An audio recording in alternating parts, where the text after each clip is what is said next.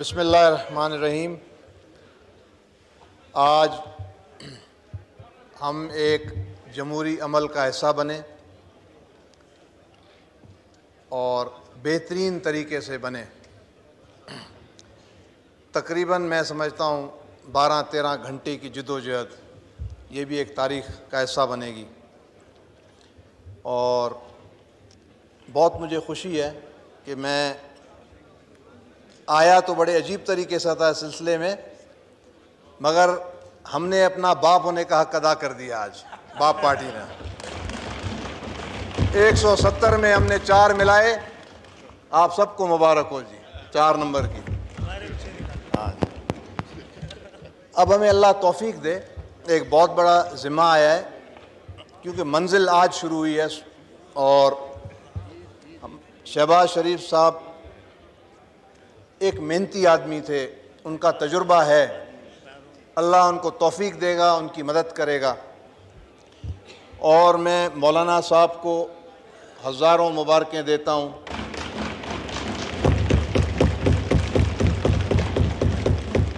क्योंकि हर हमेशा दीन को उन्होंने बुलंद रखा।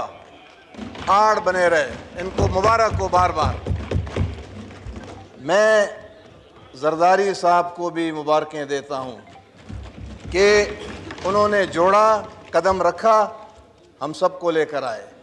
And hats off to you Mr Bilawal well done young man you will be a great man for this nation सबको मुबारक। और आप इतने खूबसूरत लगते हैं यहाँ पे। मेरा दिल चाहता है कि आप यहीं पे बैठे रहें मगर पता नहीं क्या। सो so, मेरी सबको मुबारक।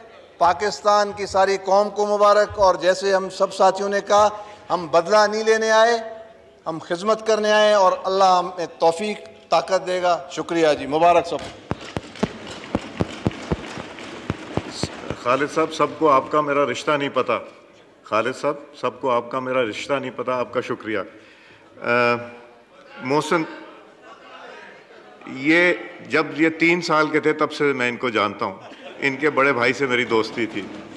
इनसे भी नादर साहब भी हैं आमिर मक्सी भी हैं, ये मेरे छोटे भाइयों की तरह दो जी, सरदार अख्तर मेंगल साहब।